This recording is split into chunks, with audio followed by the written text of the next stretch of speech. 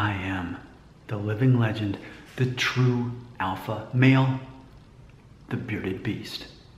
Those are all facts. I'll tell you something else that's a fact. We can't we can't skate around this. This is how it is.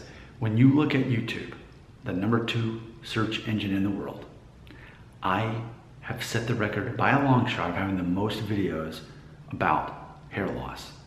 I have thousands of videos. No one comes close to that. I'm somewhere in the top five for most popular channels largely devoted to hair loss. With that being said, over the years, I have developed theories and observations to help you decide if you are going to go balding soon. Because that's a very popular question on the number two search engine in the world. Am I going bald? I know this. I'm the guy behind the camera keeping up with it. Oh, that's a popular topic. Let's keep making videos to feed the obsession of, of youth. The paradox of being young, worrying if you're gonna appear to age sooner. You know? So I'm here to help you with that. Granted, consider me nothing more than an entertainer because I am just a random guy. That's all I am. But I have helped a lot of people accurately predict whether they're going to go bald young based on my observations. So here's what I'm willing to do. I'm willing to make a video in response to some of you who will leave a comment exactly the way I tell you in this video. You have to list all seven things. Otherwise, don't expect me to respond.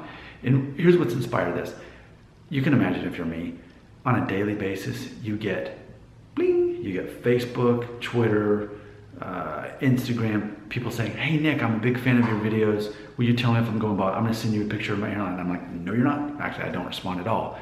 I don't wanna look at pictures of your hairline because that's creepy. I'm old enough to be your dad. I don't wanna be looking at teenage boys and, and that's weird. So, what I am willing to do is you tell me about yourself in a comment and the questions I'm going to ask you are going to help me to determine, look at all the things together to help determine if you're going to be going bald young. Now, it's not a matter of just looking at one thing and say, oh, well, what about, no. I don't care about just one thing, I care about all these things. So if you leave the comment, you, you might see that I make a video response predicting whether you're going to go bald young in life, that sort of thing. So let's get started. What are the seven things? Number one, in the comment, I need to know, obviously, how old are you now? Tell me your age now, you know, because age 35 is a very important age. That's the age where pretty much you can look at the mirror yourself and determine whether you're going to be balding the rest of your life or not. Now, for me, I'm 38 and a half. I've still got most of my hair. So at this point, I'm so close, to, I'm actually closer to 40 than I am 35. So for me, I already know I'm not going to go bald anytime soon because I've held on to most of my hair naturally this far. But if you're 20 and your hairline looks like this, well, then that may be a sign that you're going to be someone who is, is going to be aggressively balding. So I need to know how old are you now? That's number one. Number two, I need to know. Uh, tell me about your one-year-old photo. A photo of yourself at age one is a projection of you at 35. And I figured that out all my own. I've been talking about it for years. I've made multiple videos when I was age 35, showed a picture of myself at age one and said, look, it's exactly the same. So that's a theory I developed. That's all me. You won't find that anywhere else on the internet. I figured that out. So I want to know what does your hairline look like at age one because that's pretty much you at 35, amongst other things, just to, to assess this.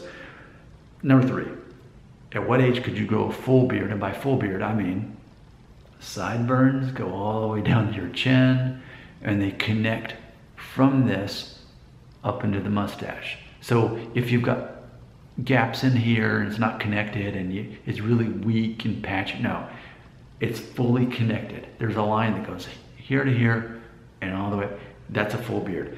If that was before the age of 18, you're more likely to go bald young if it, you're still in your 20s and you still can't go full, full connected beard, then chances are you're to be the guy that doesn't go bald because it, it's, it's, almost like you're switching gears like in my Jeep there. It's like, okay, you're 18, you're an adult now. Well, do you have your beard yet? If you already do, that's a sign that you may be uh, showing more masculine signs as you age. For example, going bald because that's a very masculine trait, male pattern baldness. It's often that men who could grow the best beards are they going to be the guys who go bald young? There's often a correlation between, not always, but that's why we look at all these things, not just that one thing. At what age could you go a full beard? If it was before the age of 18, you're more likely to go bald. If you're still can't grow one and you're well past the age of 18, less likely. But for me, it was about age 16. And yes, I still have hair, but again, we're looking at all these things. All right, next, I would need to know about your ethnic background as far as are you any of the following? Asian, Native American, Irish. If you're Irish, you're less you're more likely to go gray young, like in your teenage years even, start having gray, start showing up in your 20s, but not go bald. And if you're Asian or Native American, then you're less likely to have as much body hair, but you're also more likely to hold on to your hair longer in life and less likely for it to go gray. So these are observations I've made over the years. So uh, are you any of those things? Are you of Irish descent, Asian, Native American? I need to know. If not, then by default, you are more likely to go bald. If, in case you don't already know this, technically, I guess it's improper to say this. I'm a quarter Mexican. My, my maternal grandmother was a first generation Mexican American. DNA test shows kind of a projection of how much DNA you have inherited from your ancestors. It shows that I'm roughly like a quarter Native American is what it what it showed accordingly. But either way, I definitely have that gene, which in theory helps protect me from balding sooner. That's part of my theory when you look at the whole collection. Next, do you have a low forehead? Let me give you some examples. Anthony Bourdain, when he passed away in the 60s, he had a full head of hair and a low forehead. Uh, not, not necessarily a popular example anymore, but Tony Danza. I grew up watching him in the 80s. Tony Danza is a guy who uh, is at least in the 60s, if not pushing 70 by now. Full head of hair, really small. So if you have a low forehead, that is often a sign you're not going to go bald. We're wrapping this up. Number six, your perceived Norwood status. So what do I mean by that? Well, Norwood ultimately comes down to this. Norwood 1, Norwood 1 is you've got, when you look in the mirror, it's flat, it's straight across. But when you turn sideways, your temples go back. That's Norwood 1. Norwood 2 is when your hairline is pointed, it's a V shape, and you have boxed off corners on, on the temples. Number three, number 3, is this is now rounded off, and these are rounded off too, almost like Mickey Mouse. I'm telling you that I'm like two and a half. I've got a V going on, but it's starting to round out here, and my hair is thinner on top, but it's not in the category of diffuse thinning. And there's a little bit of almost a baby bald spot forming, but it's not that big of a deal yet, at least. It could be that I, by the time I'm 55, I'll have a complete bald spot in here everywhere else. I don't know. It doesn't matter to me. Ultimately, it's not about if we're going to go bald. It's do you know who you are as a man? Are you good at communicating? Can you make people laugh? Do you know what you're good at, bad at? Uh, you know, are you confident? All these things, those are the things that actually matter a thousand times, a thousand percent, not the hair thing. But if you're new to this channel, I'm helping you get in the front door and get past this part, and then we can work out the stuff that actually matters. So, what is your perceived Norwood? Is it one, two, rounded three, and then four would be where this is detaching an island and you've got a, a bald spot. Number five is when you're got noticeable uh, no hair starting to show up on top and, and so on.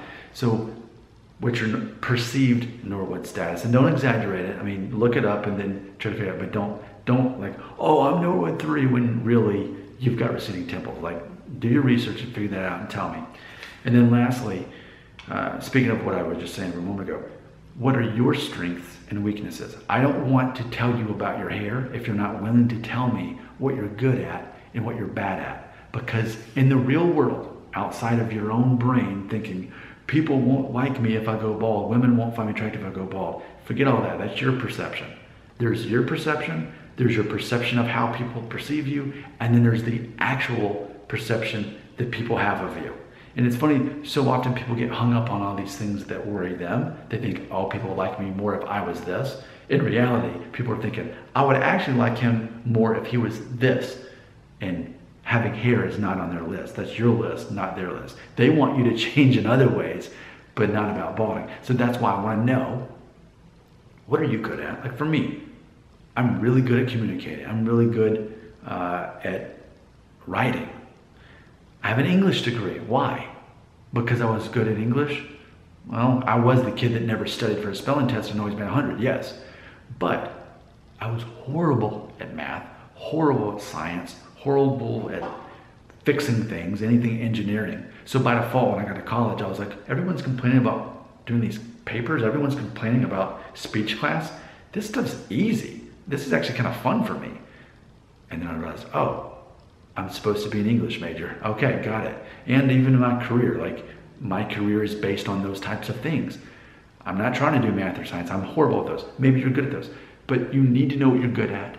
You need to know what you're bad at because you need to start embracing those now. That's part of your identity.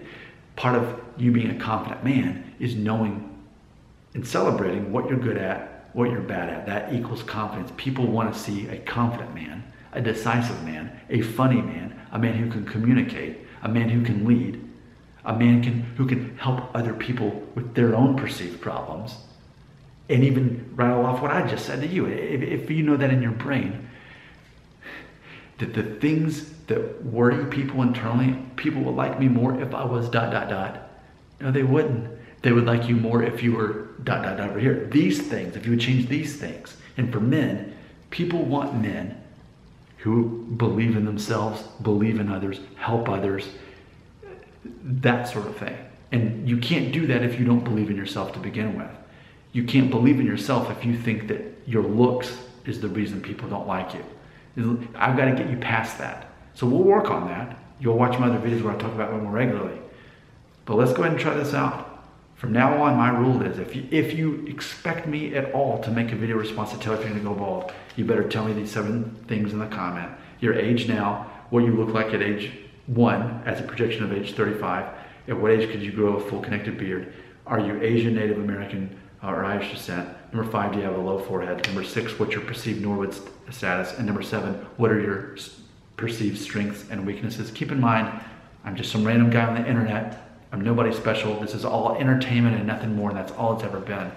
But ultimately, I am your manly mentor. You need somebody like me in your life. This is our arrangement. So let's just go ahead and get started. Go ahead and start leaving those comments. My plan, if this goes well, is to do a lot of these videos and like make this a major theme. But I don't want any more messages asking me to look at your hair. I don't want you just telling me one thing about yourself. I need to know the whole thing. I need to look at the whole picture before I can try to begin to, to predict this for you. Your comments belong right here, but you better listen to me. Listen to me. You better put all seven things if you want me to take you seriously. Do you hear me? All seven right here.